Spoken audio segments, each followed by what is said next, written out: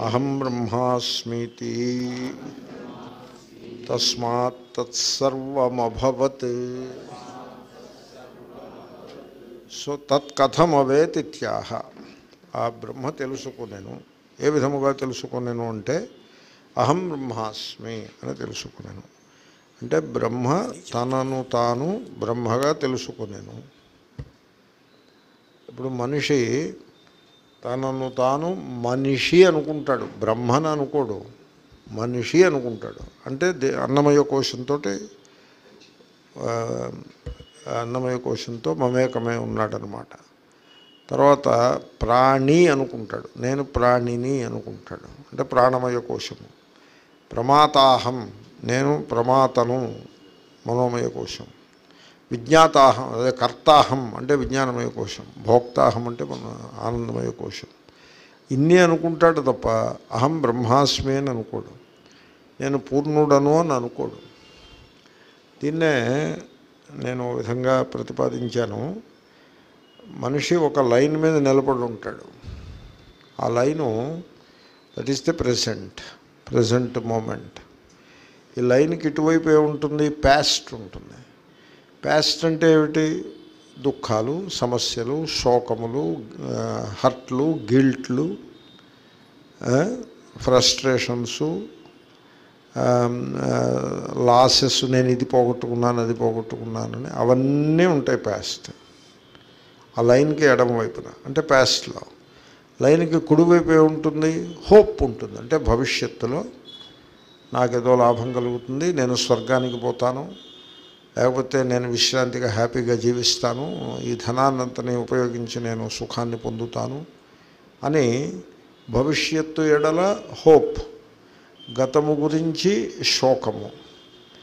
ఏమంటే భవిష్యత్తు గురించి భయం కూడా ఉంటుంది. భయంతో పాటుగా హోప్ కూడా ఉంటుంది. మనం కర్మలు చేసాం పుణ్యకర్మలు చేసాం వీటి వల్ల పుణ్యఫలాన్ని అనుభవిస్తాము.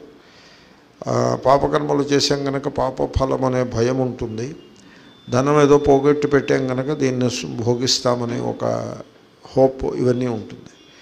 చిత్రం ఏంటంటే ఈ విధంగా మనిషి కాలము యొక్క బంధంలో ఉంటాడు. అటు పాస్ట్ తలుచుకుని కష్టపడుతూ ఉంటాడు. భవిష్యత్తు తలుచుకుని ఆ శుభము కలగాలని ఎదురు చూస్తూ ఉంటాడు. వీడు ఇలాగే బతికేస్తాడు. మొత్తం డెబ్భై ఏళ్ళు ఉంటే డెబ్భై తొంభై ఉంటే తొంభై ఇంతే. పాస్ట్ ఫ్యూ ఫ్యూచరే వర్తమానం ఎరగడం. సపోజ్ ఆ ప్యాస్ట్ మైనస్ చేసి ఆ ఫ్యూచర్ని మైనస్ చేశారనుకోండి. అంటే అర్థం ఏంటి? పాస్ట్కి సంబంధించిన నిరాశను త్రోసిపుచ్చి భవిష్యత్తుకు సంబంధించిన ఎదురు చూచే లక్షణము భవిష్యత్తు కోసం ఏదో మంచి జరుగుతుందని ఎదురు చూస్తూ ఉండడం దాన్ని కూడా త్రోసిపుచ్చి మీరు వర్తమానంలో ఉన్నారనుకోండి సపోజ్. అప్పుడు మీరు బ్రహ్మస్వరూపులే ఉంటారు. అహం బ్రహ్మాస్మి అని మిమ్మల్ని మీరు తెలుసుకుంటారు. నేను పూర్ణుడను అని తెలుసుకుంటాను అది సంగతి. కానీ ఎంతవరకు అయితే మీరు ఆ ప్యాస్ట్ యొక్క ఆ లగేజీ బ్యాగేజ్ అదే లగేజీ అనే మాట లగ్ అనే వెర్బ్ నుంచి వచ్చింది. టు లగ్ అంటే ఈడ్చుకుంటూ పో పోవుట అని అర్థం. టు లగ్ అంటే టు వాక్ అని కాదు. వాక్ అంటే నడుచుట. టు లగ్ అంటే హీజ్ లగ్గింగ్ అంటే ఏదో బరువు పెట్టుకుని ఈడ్చుకుంటూ పోతున్నాడని అర్థం. ఆ లగ్ అనే వెర్బు నుంచి లగేజ్ అనే మాట వచ్చింది. కాబట్టి ఆ ప్యాస్ట్ యొక్క లగేజ్ అంతా వీడు మోసుకుంటూ పోతూ ఉంటాడు. అంతే తప్ప ప్రజెంట్లో అహం బ్రహ్మాస్మి అని తెలుసుకోలేకపోతాడు. కాబట్టి మీరు ప్యాస్ట్ గతము యొక్క శోకమును మీరు తిరస్కరించగలిగితే ఆ శోకం ఎక్కడ ఉంటుంది? మెమొరీ రూపంగా ఉంటుంది. దానిని మీరు నెగెట్ చేయగలిగితే వివేకంతో త్రోసిపుచ్చగలిగితే భవిష్యత్తు కల్పితము అని మీరు తెలుసుకోగలిగితే మీరు తెలుసుకోరు. ఎందుకంటే మీరు భవిష్యత్తు గురించి అనేక శాస్త్రాలని కల్పించి పెట్టుకున్నారు. భవిష్యత్తుని నిర్వచించే శాస్త్రాలు జ్యోతిష్ శాస్త్రం అని ఈ శాస్త్రం అని ఆ శాస్త్రం అని పెట్టుకుని దానికి పండితులను తయారు చేసుకుని ఆ పండితులను మీరు సేవ చేస్తూ ఉంటారు. మీరు భవిష్యత్తుని కాదని ఎందుకంటారు? అర్థమైందా నా పాయింట్? భవిష్యత్ అనేది కల్పితము అని తెలియాలంటే వాడు చాలా పెద్ద వివేకం గలవాడు అయి ఉండాలి. రోజు హోరోస్కోప్ చూసుకుంటూ నాకు పంతొమ్మిది వందల రెండు వేల పద్దెనిమిది ఏమవుతుంది పంతొమ్మిది ఏమవుతుంది అని లెక్క వేసుకునే వాడికి వాడికి భవిష్యత్తు కల్పితము అని ఎలా తెలుస్తుంది తెలీదు. వాడు అలాగే జీవిస్తాడంతే. He will live like that only with hope అలా కాకుండా భవిష్యత్ అనేది ఏమీ ఉండదు. Pure physics modern physics. There is no future there is only now now now now now now now now అదే జీవితం అంటే. దాంట్లో ఫ్యూచర్ అనేది ఏమి ఉండదు. ఆ విషయాన్ని వీడు తెలుసుకున్నాడు అనుకోండి. తెలుసుకుంటే వర్తమాన కాలంలో ద రియల్ ప్రజెంట్లో మెమరీ యొక్క భారము లేకుండగా ఇమాజినేషన్ యొక్క బెంగలు లేకుండగా శాంతంగా ఉంటాడు. అదే అహం బ్రహ్మాస్మి అంటే. మీరు ట్రై చేసి చూడండి. అయితే మీకు జ్యోతిష్ శాస్త్రము అదే అడ్డొచ్చే ప్రమాదం ఉన్నది మరి చూసుకోండి. That you have to settle. అది కూడా శాస్త్రమే కదా. అవును మరి శాస్త్రమే మిమ్మల్ని బంధించడానికి ఒక శాస్త్రం కూడా ఉంటుంది. కదా? శకున శాస్త్రం ఒకటి ఉంది. అది కూడా శాస్త్రమే. న్యూమర సంఖ్యాశాస్త్రం ఒకటి ఉంది న్యూమరాలజీ. అది కూడా శాస్త్రమే. మొన్న ఆర్టీఏ వాళ్ళు సంఖ్యలనే వేలం వేసి బాగా డబ్బులు సంపాదించారు. అదో శాస్త్రం. కాబట్టి ఆ శాస్త్రాలన్నీ పెట్టుకుని మీరు కూర్చుంటే ఇంకా సంసారమే ఉంటుంది బంధ విముక్తి అనేది ఉండదు. అవి శాస్త్రములు ఏమీ కావు అవన్నీ కూడా కల్పితములు. మనిషి యొక్క అజ్ఞానం నుంచి పుట్టినవి. అలా కాకుండా వాటిని అన్నింటినీ తిరస్కరించి మీరు యథార్థమైన ప్రజెంట్లో ఉండగలిగితే మీకు మీరు ఏ విధంగా అనుభవానికి వస్తారు?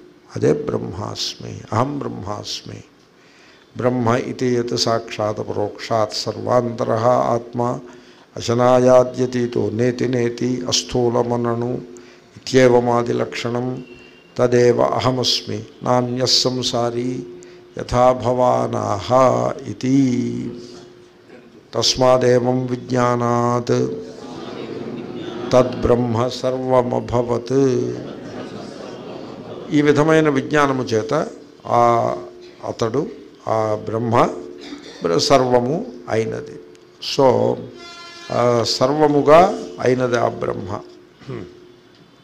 సో అంటే oneness of existence all existence is one ఉనికి అంతా ఒక్కటే అనే ఆ సత్యము అనుభవానికి వచ్చి ఆ అఖండమైన సత్తునందు నిమగ్నమై ఉండిపోవుట.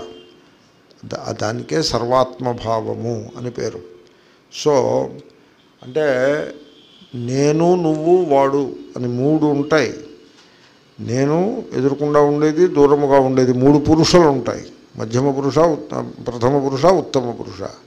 ఇప్పుడు ఇంకా మధ్యమ పురుషను ప్రథమ పురుష ఉండవు ఉత్తమ పురుష ఒక్కటే ఉంటుంది. సర్వము నేనే. అంటే ఇంకా ఎదురుకుండా ఉన్నది నేనే దూరముగా ఉన్నది కూడా నేనే. మూడు పురుషులు పోయి ఒక పురుష మిగులుతుంది. అదే అహం బ్రహ్మాస్మి. ఆ పురుషే ఉత్తమ పురుషయే మిగులుతుంది. కాబట్టి తానే సర్వము అయి ఉంటాడు. కాబట్టి నేను నువ్వు అనే భేదము ఆ అఖండమైన సత్తు నందు విలీనమైపోతుందన్నమాట. సో ఆ ఏకత్వాన్ని ఎవరికి వారు అనుభవానికి తెచ్చుకోవచ్చును. ఇప్పుడు ఇది ఇది చాలా ప్రాక్టికల్. ఇప్పుడు మీరు ఇప్పుడు ఇక్కడ కూర్చుని ఉండగానే కళ్ళు మూసుకుని అహం అస్మి నేను ఉన్నాను. సర్వము నేనే అయి ఉన్నాను. ఈ సృష్టి అనేది ఏది గలదో ఈ సర్వము నేనే అయి ఉన్నాను. అని మీరు భావన చేశారనుకోండి ఆ భావన మీరు ట్రై చేసి చూడండి ఇంటికి వెళ్ళి. అది మీకు ఫెమిలియర్గా అనిపిస్తుంది తప్ప అది సత్యముతోటి ఇంటిమేషన్ లాగా ఉంటుంది తప్ప అదేదో ఊహలాగా ఉండదు. మీరు ట్రై చేసి చూడండి. వాస్తవానికి ఊహలు అంటే సంకల్పములన్నీ కూడా జారిపోతాయి. మీరు అఖండ సద్రూపంగా నిలిచి ఉంటారు. సో దీని మీద ఓ మహాత్ములు సలహా చెప్పారు రామతీర్థం సలహా చెప్పారు. ప్రతిరోజు కొద్దిసేపు ఏకాంతంలో కూర్చుని కళ్ళు మూసుకుని అహమస్మి అని తన స్వరూపమునందు తాను నిలిచి ఉంటూ అహమస్మి ఐఆమ్ ద ఆల్ సర్వము నేనే అహం బ్రహ్మాస్మి అనుకుని మీరు ట్రై చేసి చూడండి.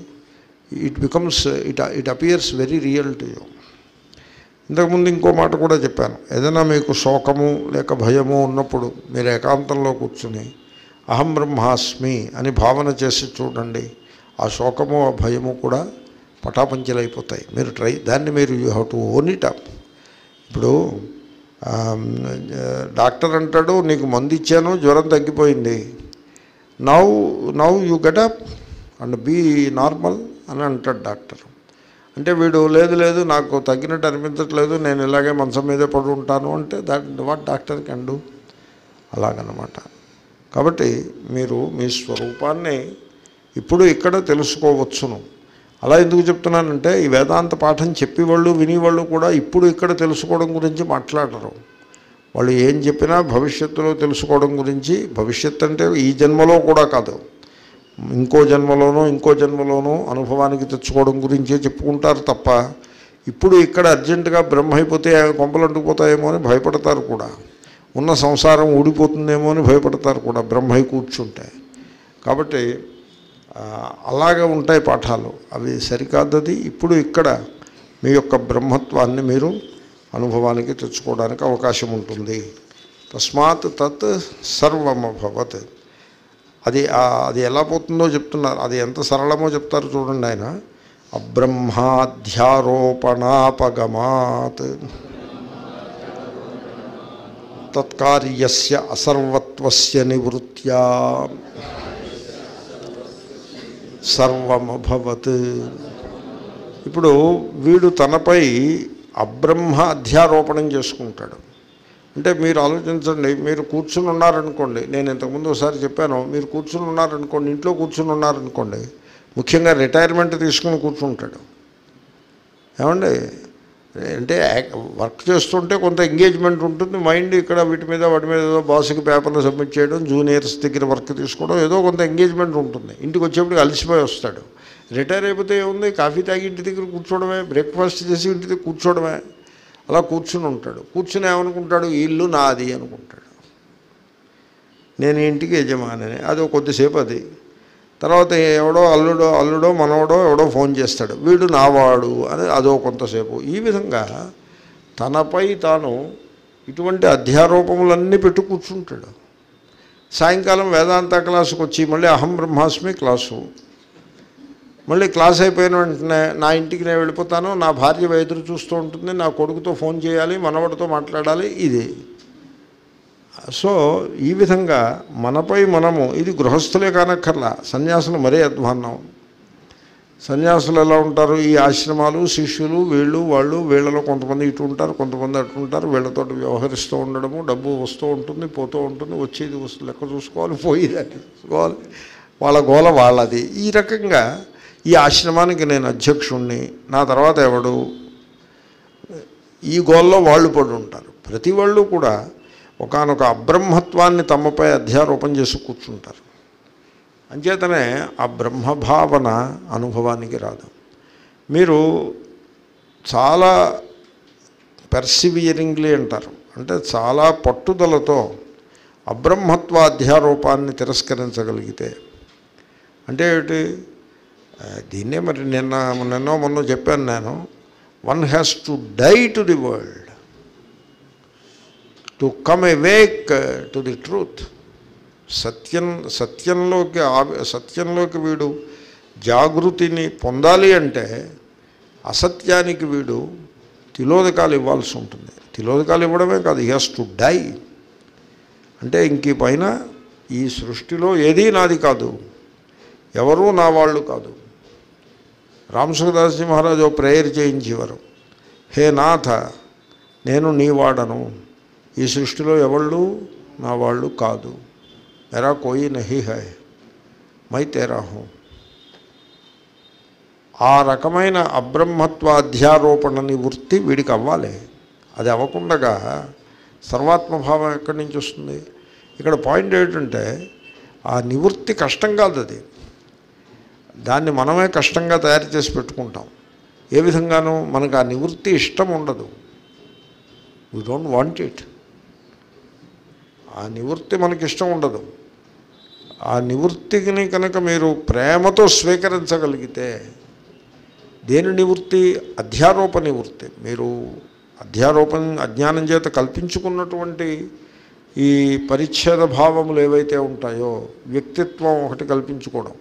ఆ వ్యక్తిత్వాన్ని అధ్యారూపములన్నీ కలిపి తయారు చేస్తాయి నిర్వహిస్తూ ఉంటాయి. ఇల్లు నాది అంటే ఒక వ్యక్తిత్వం తయారైంది. అలాగా. దీనికి ఒక దృష్టాంతం నేను ఇదివరకు చెప్పేవాడిని. ఇది నేను ఏం చేసేవాడిని అంటే ఒక కండి కండి అంటారు. కండి అంటే దారపు కండి అది తెప్పించాను. అది పాఠం చెప్పాను. ఆ కండి ఉపయోగించి. దాని మీద వాళ్ళు ఏదో ఒక చోట వ్యాసంలో వ్రాశారు కూడాను. తత్వవేదానంద్ గారు ఈ కండే దృష్టాంతం చెప్పారు. ఇది చాలా విలక్షణంగా చాలా అద్భుతంగా ఉంది. మేము చాలా అప్రిషియేట్ చేసామని కూడా చెప్పారు. ఇప్పుడు సడన్గా నాకు గుర్తొచ్చింది. ఇగో ఇది కండి దారపు కండి. ఓకే? ఇప్పుడు దీని లోపల ఒక సిలిండ్రికల్ షేప్లో ఆకాశము గలదు. ఈ ఆకాశమే జీవుడు. ఓకే? ఘటాకాశంతో పోల్చారు. మాండూక్యంలో. ఈ ఆకాశమే జీవుడు. జీవుడు ఎందుకైనాడు? మహాకాశం నుంచి సెపరేట్ అయి ఉన్నాడు కాబట్టి జీవుడైనాడు. మహాకాశం నుంచి ఎలా సెపరేట్ అయ్యాడు? నేను తండ్రిని ఇగో ఇది.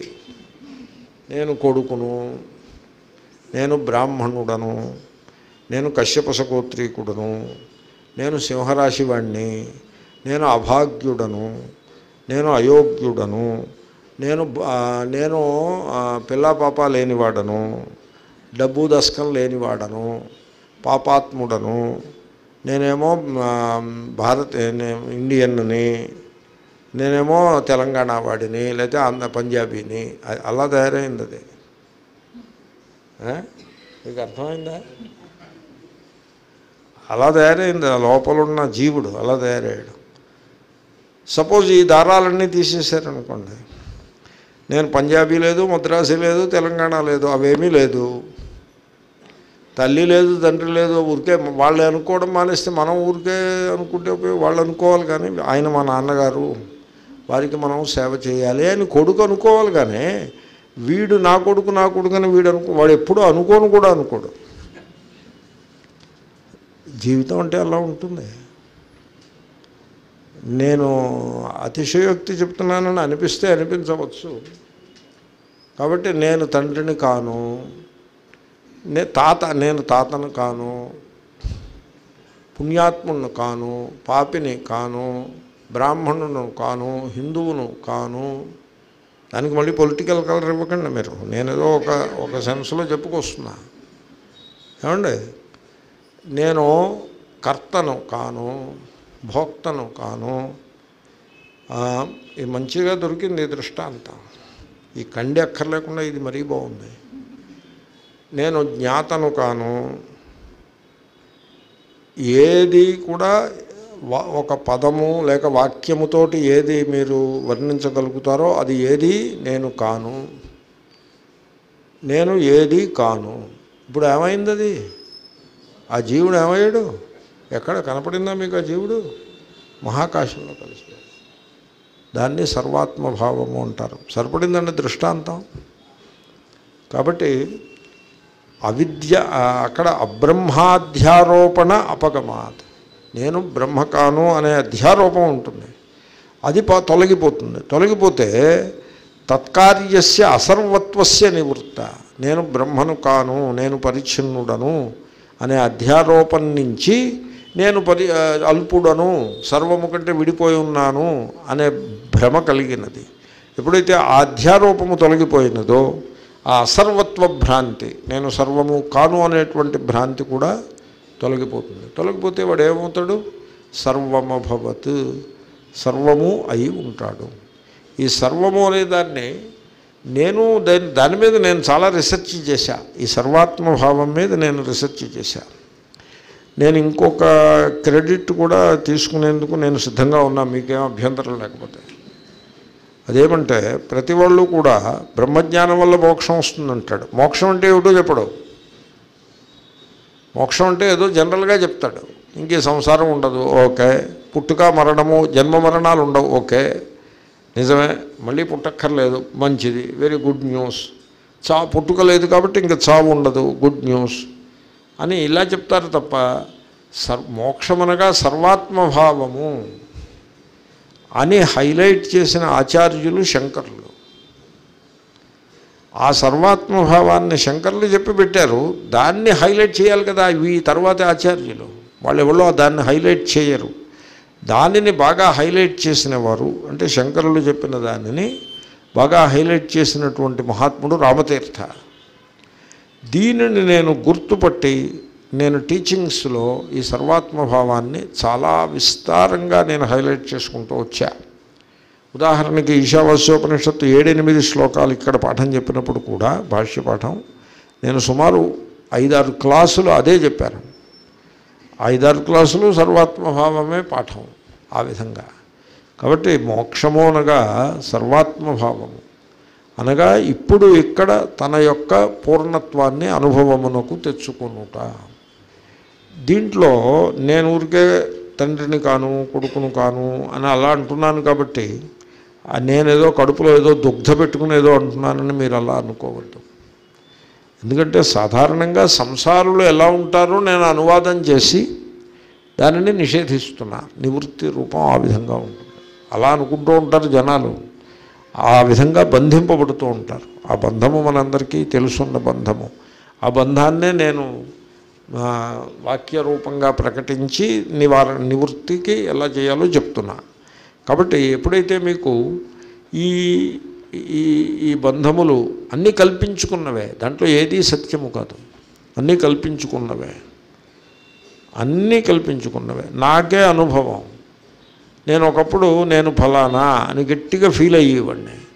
దానివల్ల నేను చాలా టెన్షన్ ఫీల్ అయ్యేవాడిని. ఎప్పుడైతే నేను ఫలానా అని మీరు అనుకుంటారో దానివల్ల మీకు ఒక టెన్షన్ కూడా వస్తుంది. లైక్ నేను పంజాబీని అని మీరు అయితే ఎప్పుడైతే అనుకుంటారో అప్పుడు మద్రాసీ వాడిని చూస్తే వీడు మనవాడు కాదు అనే అభిప్రాయం కలుగుతుంది. పంజాబీ వాడు మనవాడు అన్నట్టుగా ఒక భ్రమ కలుగుతుంది.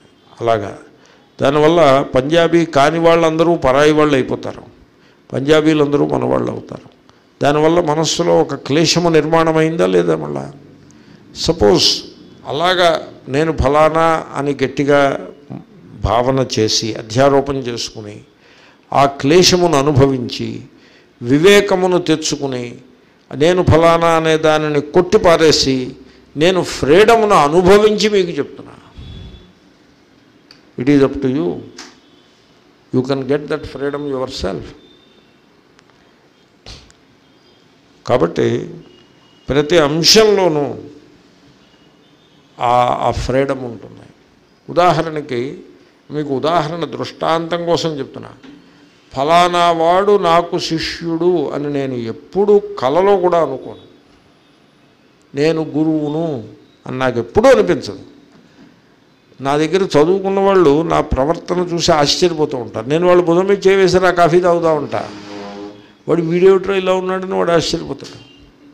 మీరు స్వామిలు కాఫీలు కూడా తాగుతారా అని అడిగితే సరే మరి నువ్వు అలా అంటే సరే నీ దారి నువ్వు వెళ్ళు నా తా- నా పంటలు లేపడతాను నేను కాఫీ తాగుతాను రా అని నేనంటే మళ్ళీ దాని మీద నువ్వు పుల్ల పెట్టి స్వాములు కాఫీ తాగుతారా అంటే సరే అయితే ఊరుకో. సరే అయితే ఊరుకో మళ్ళా. సరే మరి నువ్వు స్వాములు కాఫీ తాగరని నువ్వు నిర్ధారణ చేస్తే సరే కానీ నీ దారి నువ్వు వెళ్ళు నేను నా కాఫీ సంగతి నేను ఏదో చూసుకుంటా. ఐ విల్ డూ సంథింగ్ నేను రిసోర్స్ఫుల్ పర్సన్ నా తంటాలు నేను పడతాను. కాబట్టి నాకు ఎంత ఫ్రీడమ్ అంటే లేకపోతే వీళ్ళందరూ శిష్యులు అని అనుకున్నాడు అనుకోండి ఇదొక ప్రొఫైల్ మెయింటైన్ చేయాల్సి ఉంటుంది. నాతో ఎవరో ఉన్నారు స్వామికి కొంచెం మీరు ప్రొఫైల్ మెయింటైన్ చేయాలండి ఆయన అంటే నా వల్ల కాదయ్యా బాబు ప్రొఫైల్. నేను ఎక్కడికో ఒక లెక్చర్కి ఆహ్వానిస్తే వెళ్ళాను. శుద్ధానంద గారు ఒక బ్రహ్మచారిని పిలిచి స్వామీజీ మామూలుగా ఊ చేతులు ఊపుకుంటూ వెళ్ళి లెక్చర్ ఇచ్చి చక్క వస్తాడు నువ్వు అలా చేయనివ్వకు నువ్వు ఆయన లోపలికి వెళ్ళడానికి ముందే నువ్వు లోపలికి వెళ్ళాలి. వెళ్ళి స్వామీజీ గురించి వాళ్ళకి చెప్పాలి.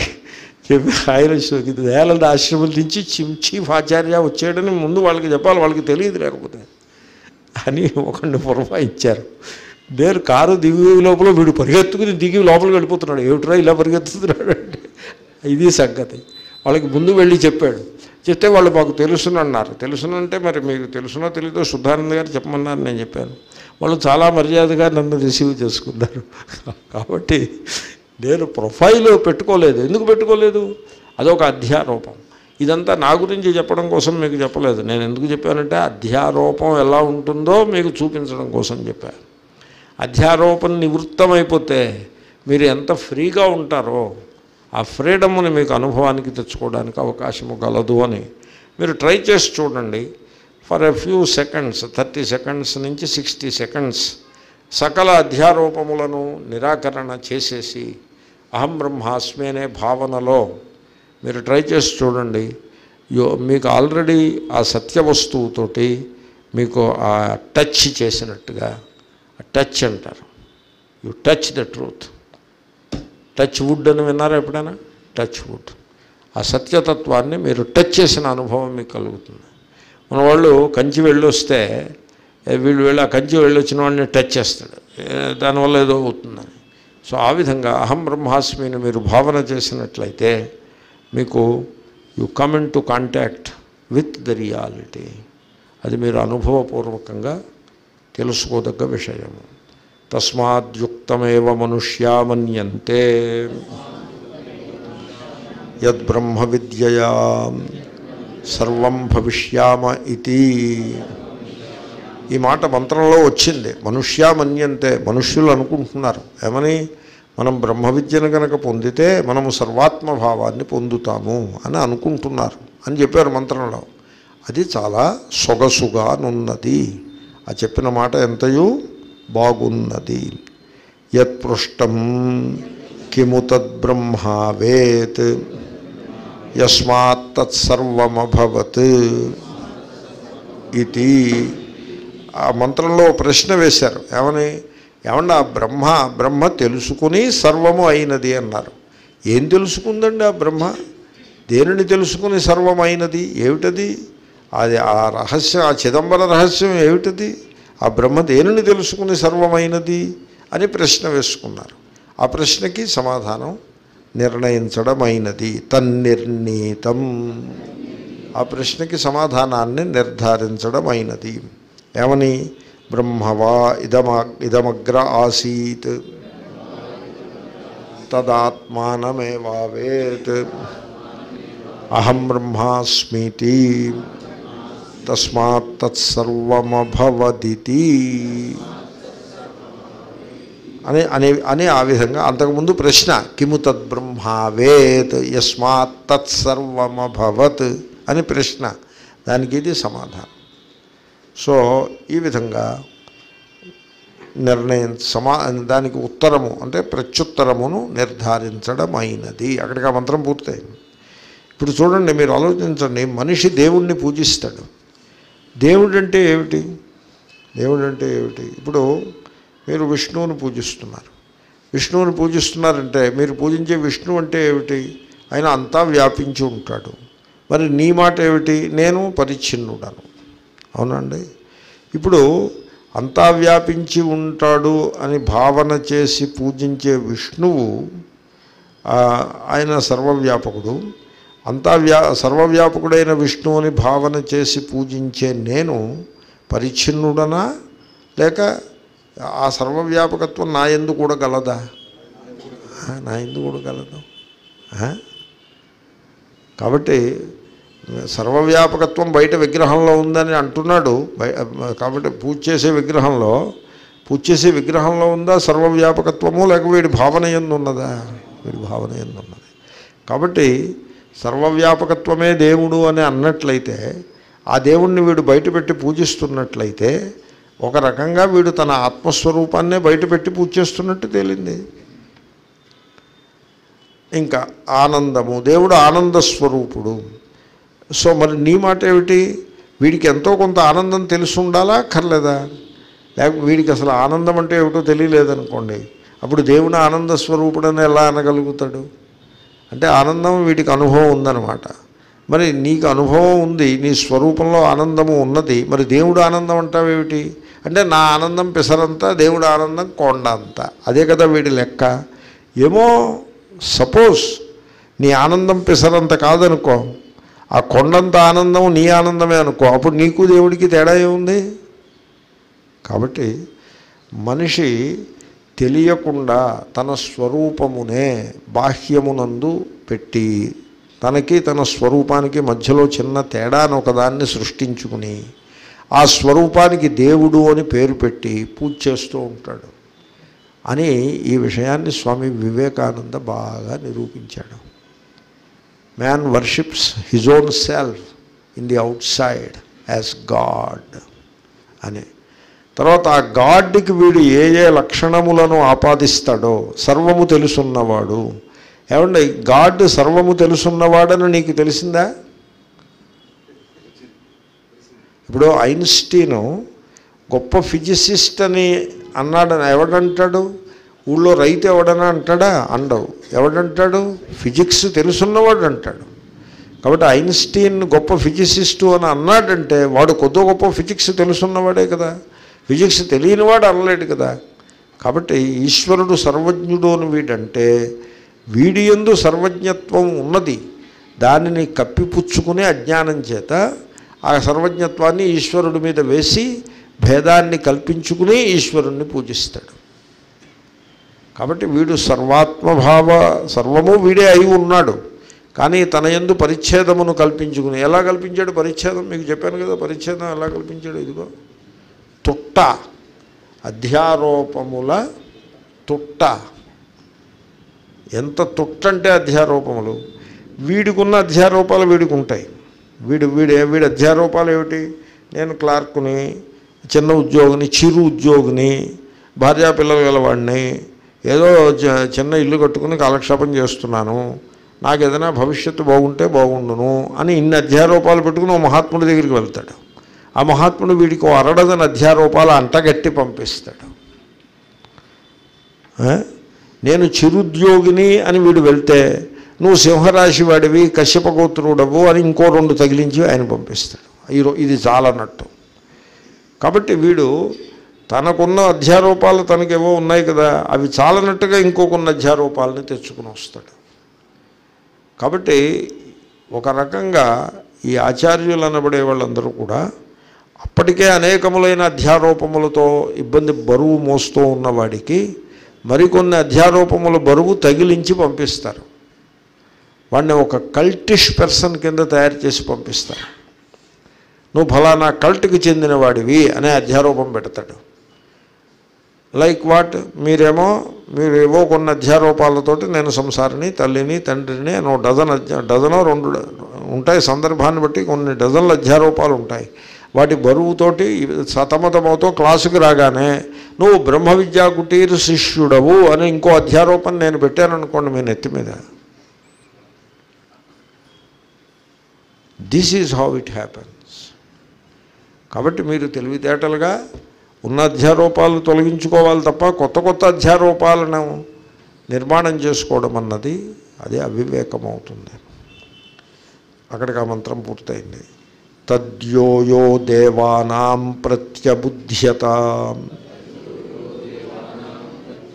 స ఏవ తదభవత్ తథర్షీణం.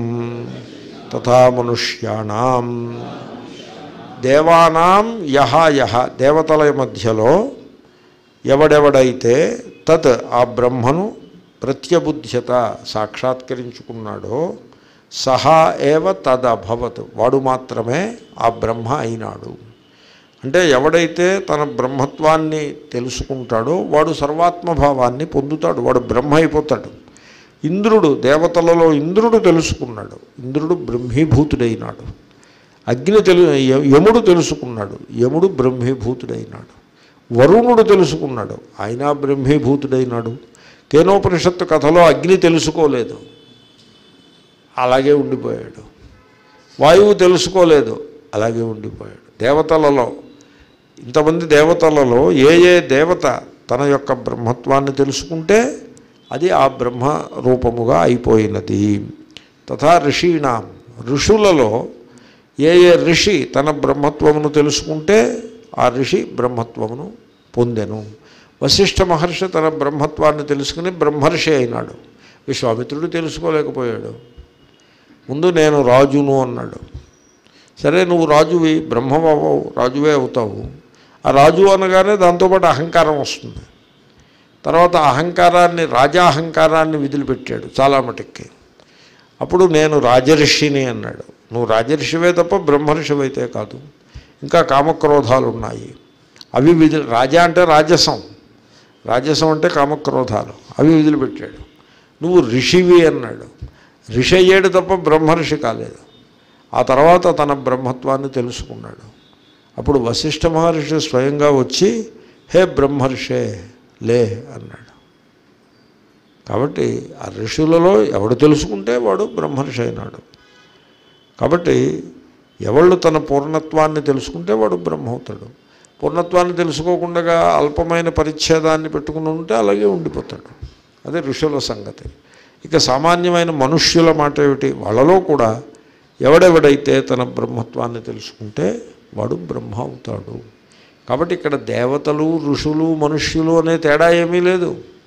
దేవతలు కావచ్చు ఋషులు కావచ్చు మనుష్యులు కావచ్చు పురుషులు కావచ్చు స్త్రీలు కావచ్చు. మనుష్యులంటే పురుషులా స్త్రీలా? అందరూనూ ఎవరైనా కావచ్చు.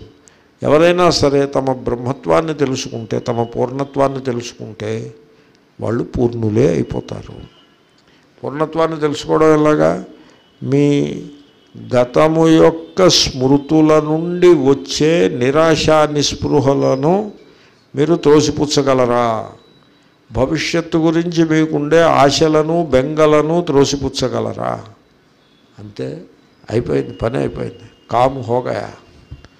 వర్తమాన కాలంలో అంటే ఆ మెమొరీ యొక్క బరువు లేని చైతన్యంలో pure కాన్షియస్నెస్లో which is free from memory అంటే మధ్యలో ఏదైనా గుర్తొస్తే తప్పని నా అభిప్రాయం కాదు. అధ్యారోపం ఉండకూడదు. ఇప్పుడు ఏదైనా ఊరు పేరు గుర్తొచ్చిందనుకోండి అది మా నేను పుట్టిన ఊరు అంటాడు. చూడండి అధ్యారోపాలు ఎలా ఉంటాయో. నేను పుట్టిన ఊరు అని అని బ్రహ్మజ్ఞానం ఎలా అవుతాడండి? నేను పుట్టిన ఊరు అన్నాడంటే వాడు బ్రహ్మజ్ఞానం ఎలా అవుతాడండి? పుట్టానంటున్నాడు కదా ఫలానా ఊర్లో పుట్టానంటున్నాడు కదా ఇంకా బ్రహ్మజ్ఞానాలు అవుతాడు. కాబట్టి ఊరుతోటి ఐడెంటిఫికేషను జిల్లాతో ఐడెంటిఫికేషను స్టేట్తో identification కంట్రీతో identification you want identification you keep it by all means. బ్రహ్మజ్ఞానమునకు అది ఆటంకం అయిపోతుంది కాబట్టి ఎవడెవడైతే మనిషి వీటన్నిటికీ అతీతంగా ఉంటాడో వాడు బ్రహ్మస్వరూపుడే అయి ఉంటాడు. రామతీర్థ తన ఎందు తాను ఎప్పుడూ బ్రహ్మత్వాన్నే అనుభవానికి పొందేవారట ఆయన. ఆయన ఎప్పుడూ కూడా నేను ఫలానా అనే ఆలోచనే ఆయనకు ఉండేది కాదు. ఫలానా అనే ఆలోచన లేకుండా తన బ్రహ్మత్వంలో తాను ఉండేవారు. మనుష్యులు అవ్వచ్చు దేవతలు అవ్వచ్చు చాలా గొప్ప మంత్రం. సరళంగా ఉంటుంది అనేసిద్దాము తత్తత్ర. తత్ అంటే నేను బ్రహ్మ అన్నాను కానీ శంకరులు తత్ర అని. తత్ర అంటే సప్తమీ విభక్తి లోపించిన తచ్చబ్దం విభక్తి లోపించిన తచ్చబ్దం ఇప్పుడు దానికి అర్థం ఏమొస్తుంది తత్ర అంటే తస్మిన్ సతి అని అర్థం వస్తుంది. అనగా అది అట్లుండగా అని అర్థం. అంటే మీకు నేను ఏ అర్థం చెప్పినా మీకు నడిచిపోతుంది నాకు తెలుసు ఆ సంగతి. మీకు ఇప్పుడు తత్తంటే ఇలా అర్థం చెప్పినా అలా అర్థం మీకు నడిచిపోతుంది. కానీ శంకరులకు అలా నడవదు నాకు కూడా అలా నడవదు. దానికి ఏది అవసరమో అది చెప్పి తీరాలి. ఓకే? శాస్త్రం అంటే అలా ఉంటుంది కదా. ఇప్పుడు మ్యాథమెటిక్స్ చేసేవాళ్ళు ఆన్సర్ వేసేస్తాడు. ఆన్సర్ తెలుసు వీడికి. ఇప్పుడు ట్రిగ్రామీటర్లో లెక్క ఉంటుంది. LHS equal to RHS. RHS ఏమిటి? జీరో. ఇంత పొడుగుంటుంది ఎల్హెచ్ఎస్. లెఫ్ట్ హ్యాండ్ సైడ్ ఇంత పొడుగుంటుంది దాన్ని అలా అలా స్టెప్ స్టెప్ స్టెప్ వేసుకుని ఆఖరికి ఏమొస్తుంది? జీరో వస్తుంది. వాడికి జీరో తెలుసు. ఆన్సర్ తెలుసు. స్టెప్పులు తెలియదు కాబట్టి అక్కడ వాడు స్టెప్ ఫస్ట్ స్టెప్ ఎలాగా పుస్తకాలు పరీక్ష పేపర్లో ఫస్ట్ స్టెప్ ఇస్తాడు కదా అది జాగ్రత్తగా వేయడం. ఒక స్టెప్ వేసాడు. ఆఖరి స్టెప్ జీరోలు వేయరా ఆన్సర్ ఎంతరా అని పక్కవాడిని అడగడం. అంటే జీరో రా బాబు అంటే ఓ అది జీరో వేసుకోవడం. మధ్యలో ఏమైనా ఒకటి రెండు స్టెప్పులు వేస్తే ఏమంటే స్టెప్పులకి మార్కులు వేస్తారా? ఆ వేస్తారు. లెక్కకి పది మార్కులు ఉంటే స్టెప్పులకి ఎన్ని మార్కులు వేస్తారు? మూడు మార్కులు వేస్తారు. ముప్పై పర్సెంట్ వస్తే పాసే. థర్టీ పర్సెంట్ వస్తే పాసే కదా. భారతదేశంలో విద్యా విధానం అలా నడిచింది. అలాంటి విద్యా విధానంలోంచే మన సైంటిస్టులు పెద్ద పెద్ద సైంటిస్టులు వెళ్ళి ప్రపంచం అంతా రూల్ చేస్తున్నారు. మరి దాంట్లోంచే వచ్చారు వాళ్ళు. తత్తత్ర అంటే అది అట్లుండగా యో యో దేవానాం మధ్యే. మధ్య అని మీకు మంత్రంలో ఉండదు. భాష్యకారులు పెడతారు. దాన్ని నిర్ధారణ షష్ఠి అంటారు. దేవతల మధ్యలో ఎవరెవరైతే ప్రత్యబుద్ధ్యత ప్రతిబుద్ధవాన్ ఆత్మానం యథోక్తేన విధినా. తెలుసుకున్నాడు. దేన్ని తెలుసుకున్నాడు? తన స్వరూపాన్ని తెలుసుకున్నాడు. తనను ఆత్మను తెలుసుకోవాలండి. ఆ నాకు తెలిసిందంటాడు. ఏమిటి తెలిసింది? నీ మనస్సులో ఏముందో తెలిసింది. ఎందుకు? నీ మనసులో ఏముందో ఎందుకు తెలియడం ఎందుకు? ఈమెకు కొడుకు పుడతాడో కూతురు పుడతాడో తెలిసింది. ఎందుకు? తెలియడం ఎందుకు అనవసరం కదా? తెలిసిందని వాడు అంటాడు ఇట్స్ ఎ బ్లఫ్ ఆల్సో పైగా. ఈ ఫిఫ్టీ ఫిఫ్టీ క్యాల్కులేషన్ అది. And it is already obviously a bluff కాదు ఈ గ్రహాలను బట్టి తెలిసిందంటాడు he's bluffing or he's ignorant or he's both వాడికి ఎలా తెలుస్తుందండి? అదే వెళ్ళి ఏదో అల్ట్రా వై అల్ట్రా అల్ట్రా సౌండ్ ఏదో చేస్తే వాళ్ళు డాక్టర్లు చెప్తారు. అదే కానీ వీడికి ఎలా తెలుస్తుంది? వీడేదో ఫిఫ్టీ ఫిఫ్టీ కనుక ఒకటి ట్రై చేస్తాడు. అలాగా. వర్షం పడుతుందా పడదా అంటే ఫిఫ్టీ ఫిఫ్టీ ఏదో చెప్పడం. అలాగా. ఎనివే పైన చెప్పిన విధానంతో అంటే అజ్ఞాన కల్పితమైనటువంటి అధ్యారోపములన్నిటినీ నివృత్తి చేయుట ద్వారా తన స్వరూపమును తెలుసుకున్నవాడు. అంటే నేను అలా ఎందుకు చెప్పానంటే తెలుసుకోవడం అంటే ఏదో గొప్పది ఏదో తెలుసుకున్నాడని అలా కాదు. ఆత్మను తెలుసుకునుట.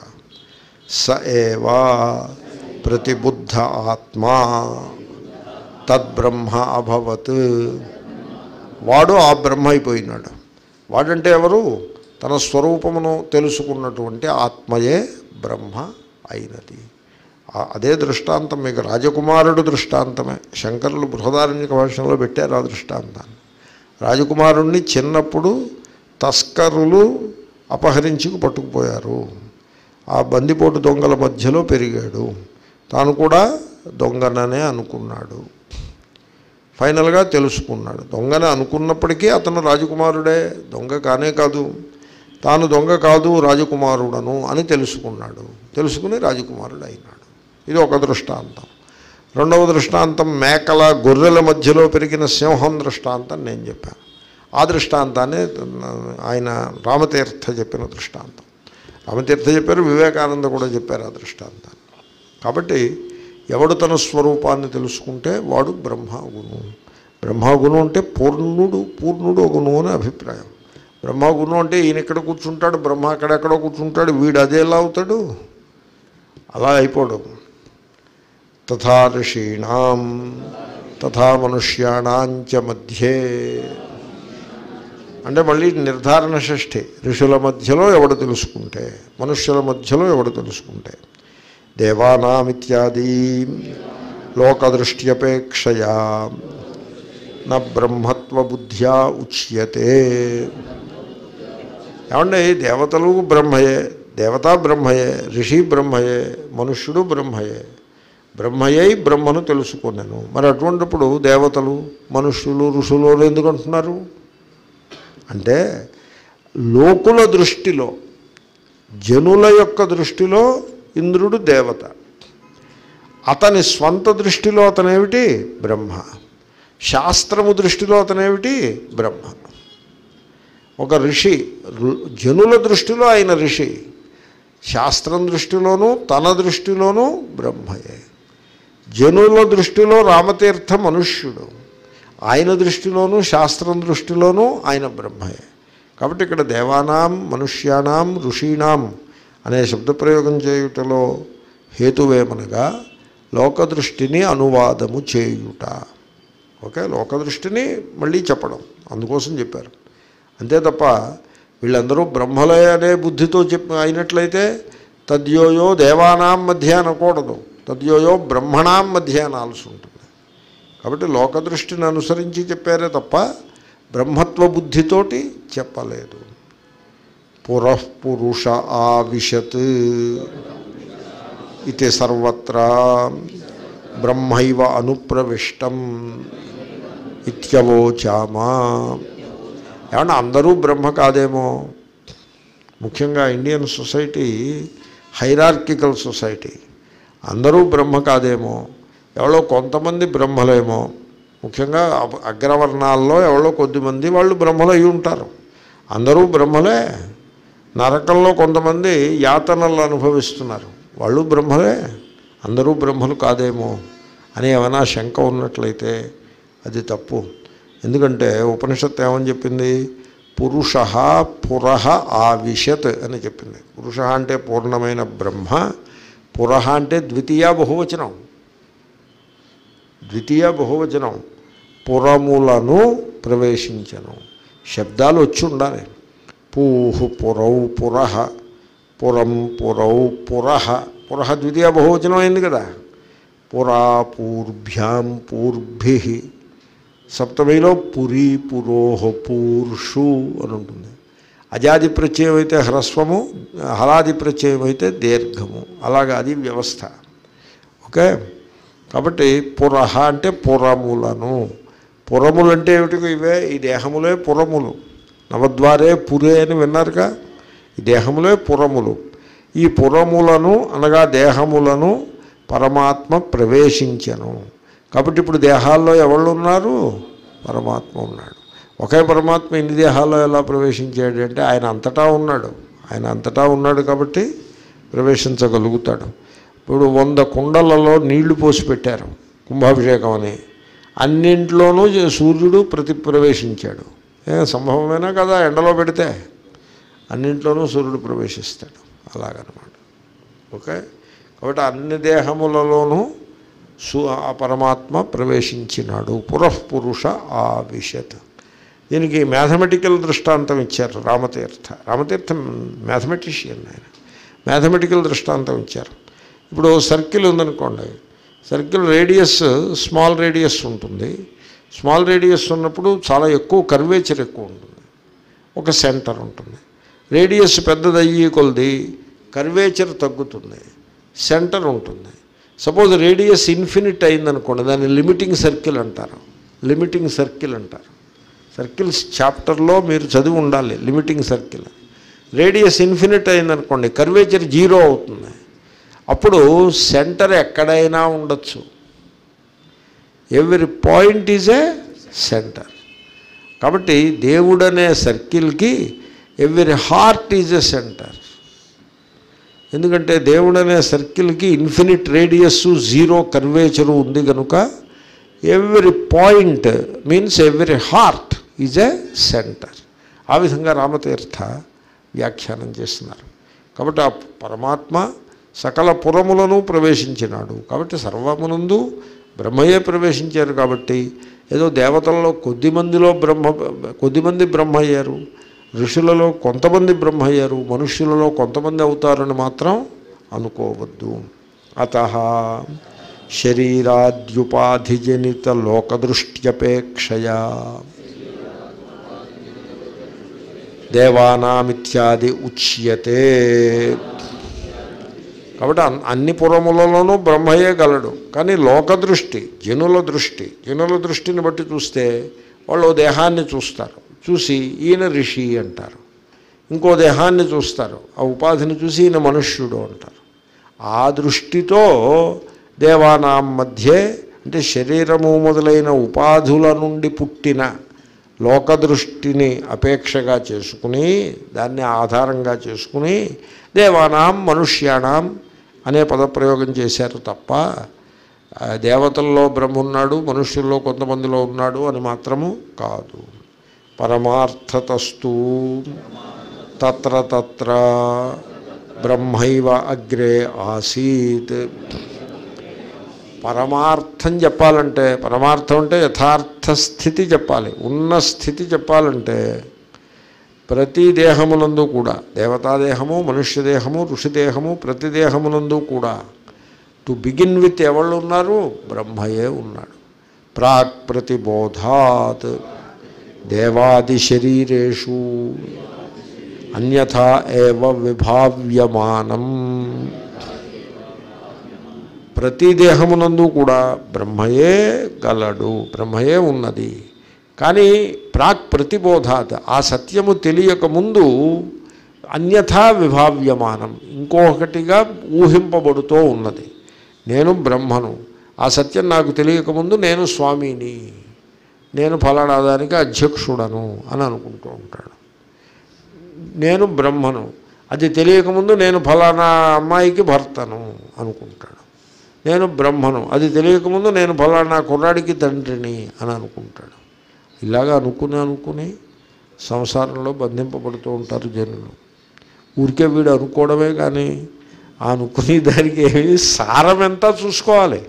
ఊరికే అనుకుంటే సరిపడదు. అనుకుంటే బం బద్ధుడు అవుతాడు కదా. సారం ఎంతో చూసుకోవద్దు. ఇప్పుడు నేను ఇక్కడ కూర్చుని నేనేమో తెలంగాణకి ప్రెసిడెంట్ని అని ఎందుకు అనుకోవడం? అనవసరం కదా. కాని దాన్ని అలా నెత్తి మీద ఎందుకు వేసుకోవడం? అనవసరం.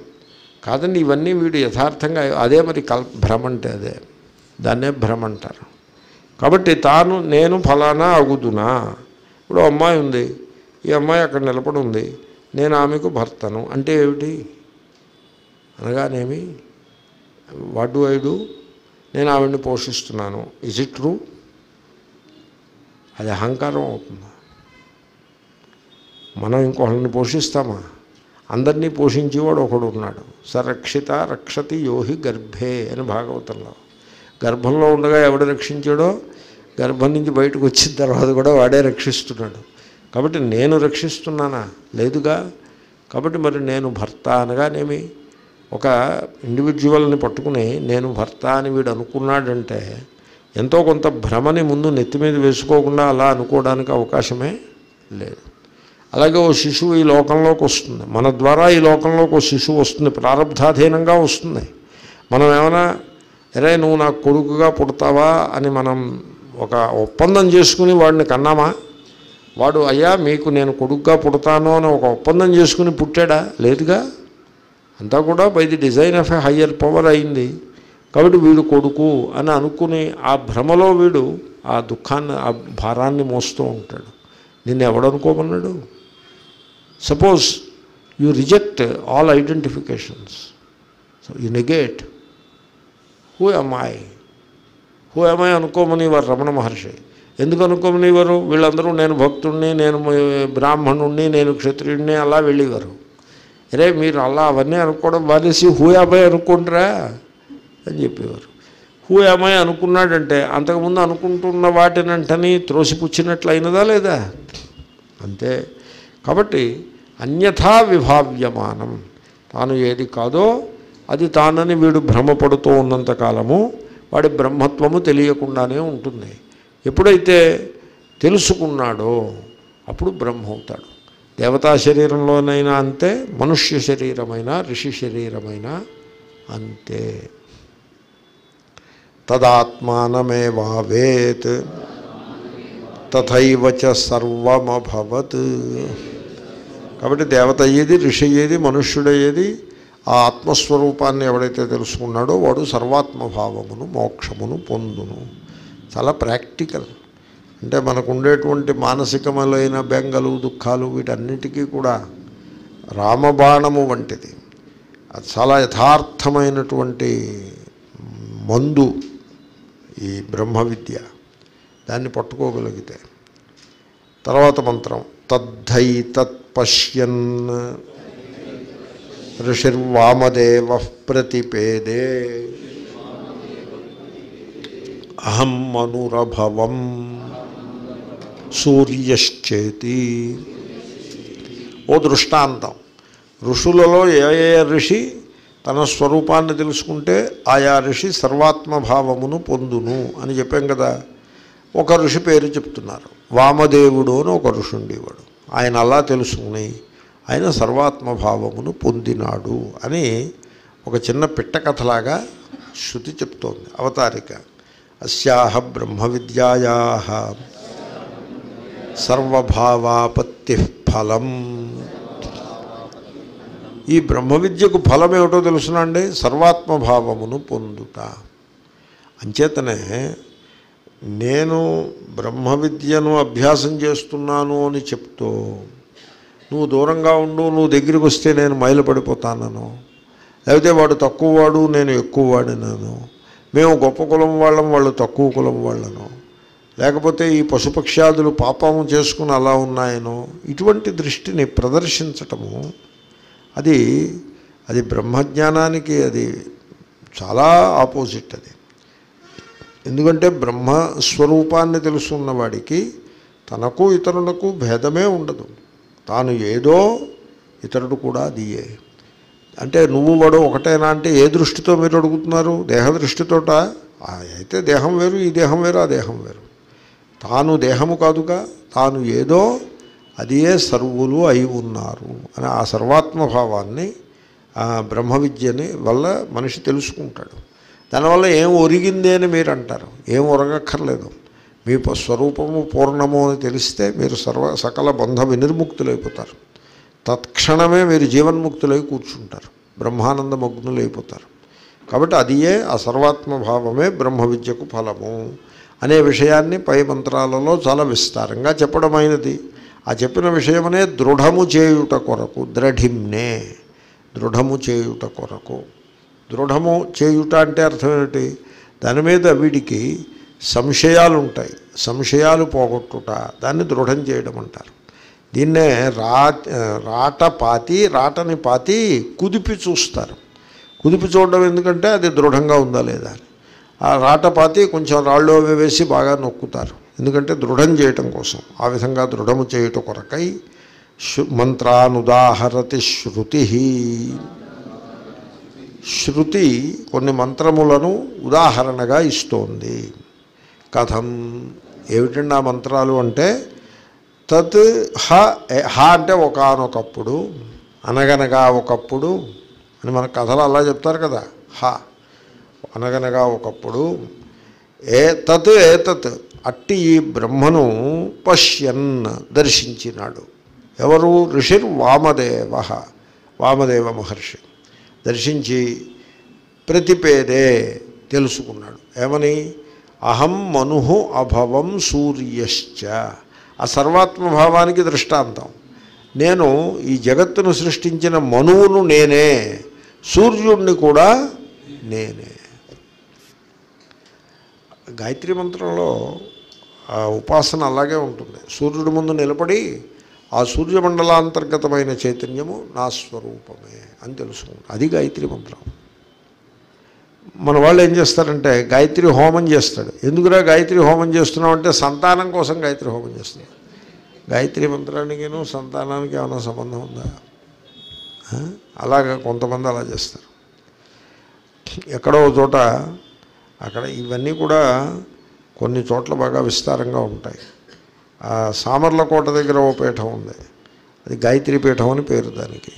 అక్కడ ఏం చేస్తారంటే మీకు ఏ కోరికలు కావాలన్నా గాయత్రి మంత్రంతో ఆ కోరికలు తీర్చడానికి కావాల్సిన ఏర్పాట్లు చేస్తారు. హోమాలు ఉంటాయి తర్పణాలు ఉంటాయి జపాలు ఉంటాయి అన్నీ ఉంటాయి ఆ గాయత్రి మంత్రంతో మీరు ఎలక్షన్లో ఎమ్మెల్యే ఎలక్షన్లో నెగ్గాలంటే కూడా వాళ్ళు దానికి ఏర్పాటు చేస్తారు. అక్కడ ఒక ఎమ్మెల్యే చేయించుకున్నాడు సంతానం కోసం మీరు గాయత్రి ద్వారా పొందవచ్చును.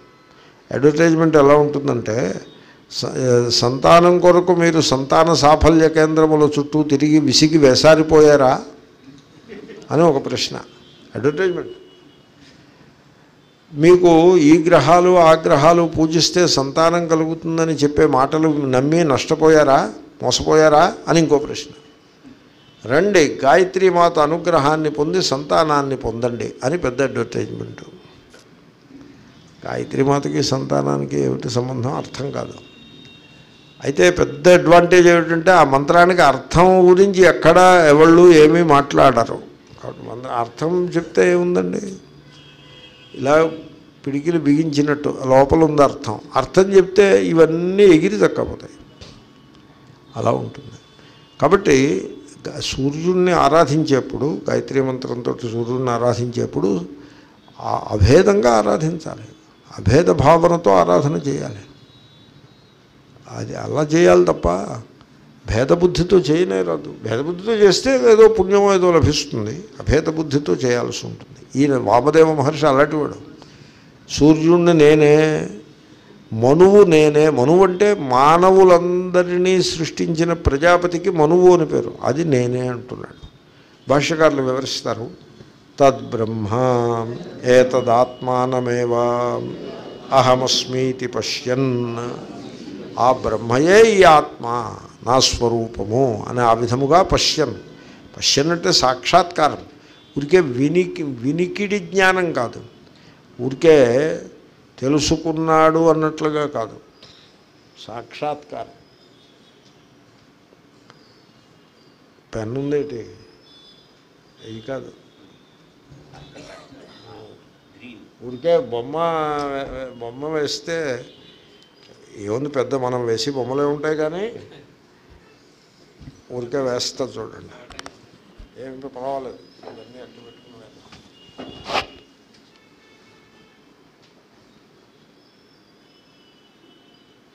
అది ఏమిటో చెప్పండి. సూర్యుడు కదా. తెలిసిందా?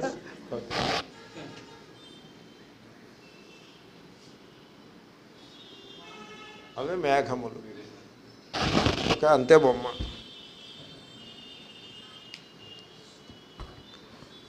ఇప్పుడు మీరు సూర్యుని యొక్క సాక్షాత్కారం కలగాలంటే ఏమవ్వాలి? ఆ మేఘముల పొరలు తొలగిపోవాలి మేఘములు అంటే అజ్ఞానమే అజ్ఞాన మేఘాలు. వీడు ఏం చేస్తాడంటే వేదాంతం చదువుతాడు. ఐదేళ్ళలో ఎంతో వేదాంతం చదువుతాడు. చదివి జ్ఞానాన్ని సంపాదిస్తాడు. ఓకే? ఆ జ్ఞానం ఏమవుతుందో తెలుసునా? ఇంకో పెద్ద పొర కింద అర్థమైందండి? అది అది సంగతి. That is how it happens పాండిత్యాన్ని సంపాదిస్తే ఆ పాండిత్యం ఏమవుతుందంటే ఇంకో పెద్ద పొర కింద అవుతుంది? ఎందుకని నేను పండితుడను. నేను బ్రహ్మ విద్య ఆచార్యుడను ఆచార్యుడు. ఆచార్యుడు ఎవడికి వాడు? ఆచార్యుడని పేరు పెట్టేసుకుంటారు. నాకు ఒకతను ఏదో ఉత్తరం రాశాడు. స్వామీజీ మీరు ఇండియా వచ్చినప్పుడు మీ సీడీ ఏదో నాకు కావాలి అంటే అని so I request you to send it to me అని ఏదో రాసి కింద Acharya such and such. Acharya. ఎందుకు ఆచార్య? ఎందుకు? కుర్రాళ్ళు ఆచార్య కుర్రాళ్ళన్నాను కుంకలంటే బాగుండదని. ఆచార్యులను పెట్టుకోక్కర్లేదు. ఏదో ఇంకా కొంచెం వ్యాకరణం అది చదవచ్చు సంస్కృతం బాగా చదువుకోవాలి శాస్త్రాలను అధ్యయనం చేయాలి. చదవాల్సింది ఎంతో ఉంది. చదివింది పిసరంతా అప్పుడే ఆచార్య ఎందుకండి?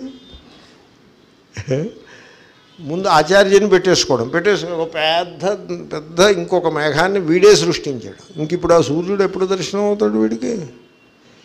కాబట్టి పశ్యన్. అంటే చదివిన చదువు knowledge should not become an obstacle to the truth ఉన్న ఆబ్స్టకిల్స్ను తొలగించేది ఈ పరిస్థితి మీకు అర్థమైందా? కాబట్టి అలా సాక్షాత్కారం చేసుకున్నాడు పాండిత్యం సంపాదించడం కాదు ఆత్మస్వరూపాన్ని తెలుసుకున్నాడు ఆయన. ఎలా తెలుసుకున్నాడంటే ఏతస్మాదేవ బ్రహ్మణో దర్శనాత్. ఈ బ్రహ్మ యొక్క సాక్షాత్కారము వలన ఏతస్మాత్ దర్శనాత్. ఏతస్మాత్ని బ్రహ్మణకి పెట్టకూడదు. ఏతస్మాత్ పంచమీ విభక్తిను బ్రహ్మణ షష్ఠీ విభక్తిను. సో బ్రహ్మణ ఏతస్మాత్ దర్శనాత్. ఈ బ్రహ్మ యొక్క సాక్షాత్కారము వలన ఆ ఋషి వామదేవుడు అయినాడు సర్వము అయినాడు ఆయన. ఆ మాట చెప్తున్నారు ఋషిర్వామదేవాఖ్య. ఆయన పేరు వామదేవుడు. ఆయన ఋషి. ఆయన ప్రతిపేదే. హా. హా అంటే కథ అనగనగనగా. ప్రతిపన్నవాన్ కిలా. ప్రతిపేదే అంటే ప్రతిపన్నవాన్ తెలుసుకునేను సాక్షాత్కరించుకునేను. కిలా అంటే హాకి కిలా. అంటే అనగనగనగా ఒకప్పుడు. అంటే అతను ఈ మంత్రములను దర్శించినాడు. ఆ బ్రహ్మ సాక్షాత్కార తన పూర్ణత్వాన్ని సాక్షాత్కరించుకుని ఈ మంత్రములను దర్శించినాడు. సహా ఏతస్మిన్ బ్రహ్మాత్మదర్శనే అవస్థిత. ఏతాన్ మంత్రాన్ దర్శ